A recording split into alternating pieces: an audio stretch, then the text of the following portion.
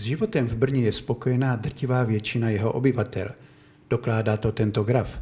Vznikl na základě sociologického průzkumu, který v roce 2013 uskutečnila specializovaná firma. V rámci průzkumu na 180 otázek odpovídalo 1012 respondentů. Brňané eh, své město vnímají jako eh, město univerzit a město studentů, město, které je dobře dopravně dostupné vlakem i automobilem. Eh, dále pak Brňané město hodnotí jako město, které má co nabídnout v oblasti kultury, kulturního vyžití. Brňané hodnotí velmi pozitivně například možnosti nákupu, možnosti rekreací. Obdobný průzkum provedli sociologové pro město Brno i v roce 2009 takže je možné srovnávat.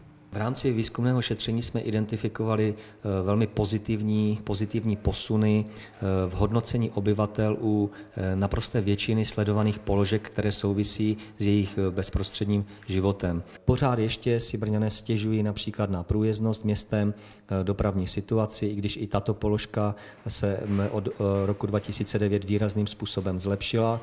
Ještě pořád si Brňané stěžují na možnosti parkování, nicméně to je problematika, která která trápí většinu obyvatel eh, všech eh, větších měst v rámci České republiky.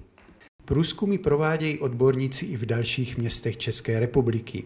Brno dopadlo, eh, dá se říci, excelentně, poněvadž se umístilo vlastně ve srovnání asi s 15 jinými městy na druhém, na druhém místě. To znamená, dá se říci, že město Brno v obecné míře spokojenosti obyvatel se ocitá na úplné špici ve srovnání s jinými městy. Výsledky obdržela nebo obdrží jak politická reprezentace města, tak vedoucí odboru, kteří mají na starosti například oblast dopravy, sociálních služeb, zdravotnictví, prostě těch aspektů eh, z výzkumu a také samozřejmě tajemníci městských částí.